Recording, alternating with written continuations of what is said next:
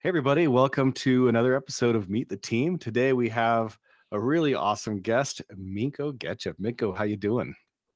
Hey, doing pretty good today. Thanks. Good, good. So uh, yeah, we're really uh, super excited to to chat with you, and hopefully people get to know you a little bit better.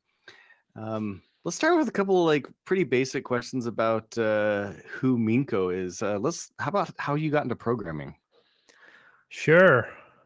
Well, I was looking to get into like school that was specializing in mathematics and like software development. So Mhm. I got to implement a program in Pascal when I was maybe ninth grade. So I kind of started pretty late compared to some other folks. Uh, from there, from there, I was also very fortunate to have a high school teacher who was really passionate about web development.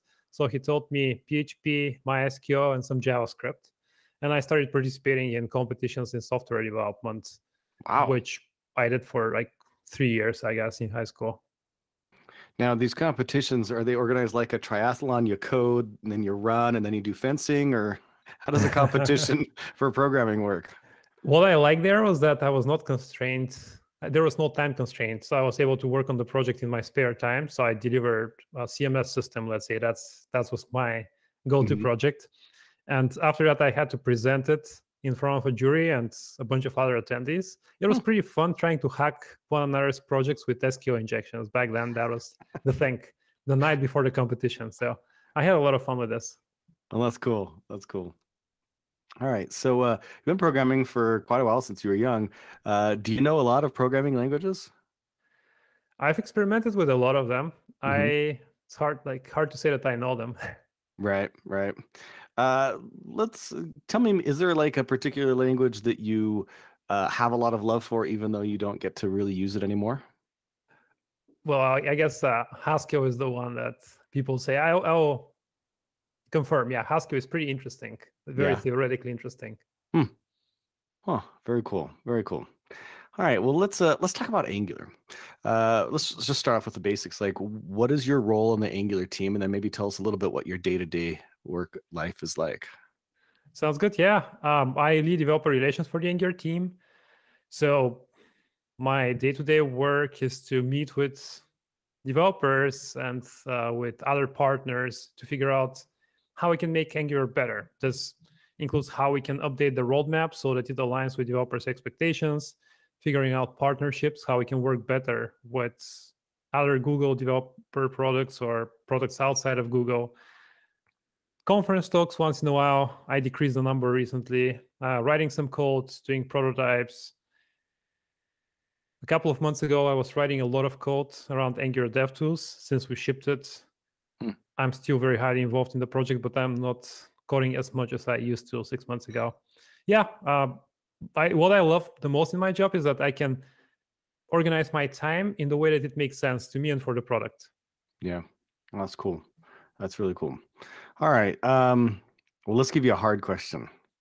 Uh, tell us your least favorite part of Angular. the actually that's one of the biggest strengths strengths of Angular as well. The big API that it provides, it Mhm. just makes things really hard for us. Mhm.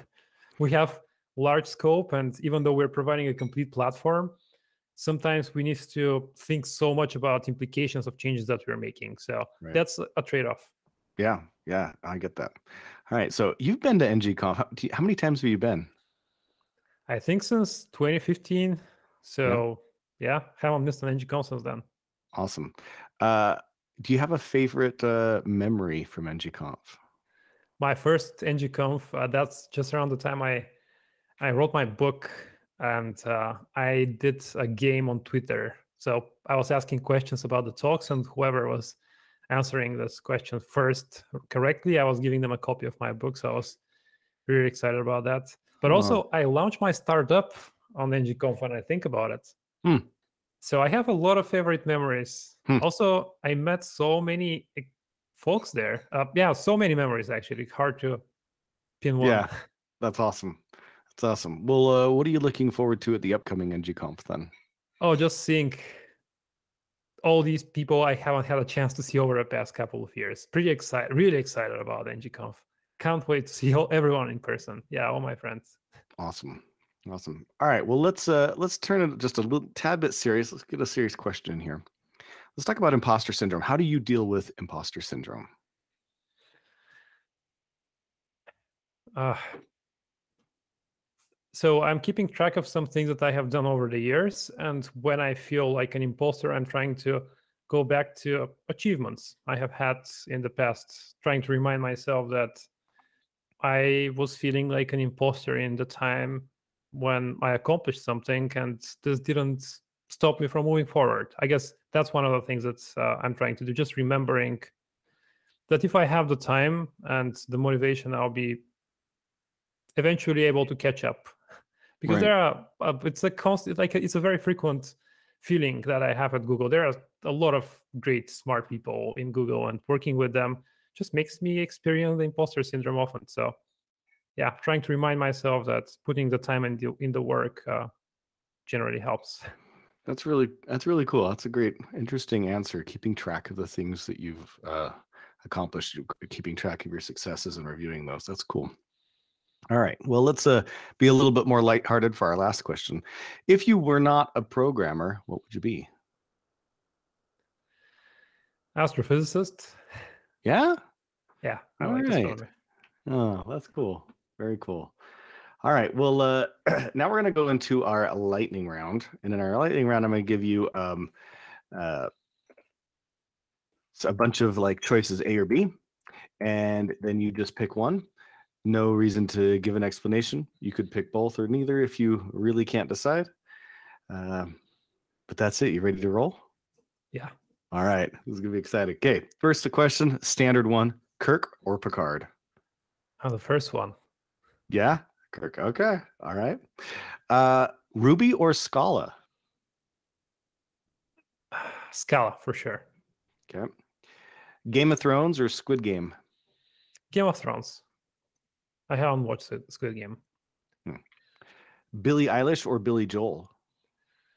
I don't know. Uh, neither. Neither. Okay. Uh, football or football? Like you know, I have Bulgarian accent, so either. All right. Uh, manga or mangoes? Mangoes. Okay. Uh, Stranger Things or Lost? I haven't watched either, so I don't know. Mm. Vite or Webpack? That's a hard one. I'll go with neither. Neither. Oh, okay. All right. Last one. Dogs or cats? I'll go with dogs here. Dogs. Okay. Awesome. Well, thanks, Minko. We really appreciate your time. Thanks, everybody, for tuning in. Hope you enjoyed getting to know Minko a little bit better. Looking forward to seeing Minko and all of you in person at NGConf later on this year.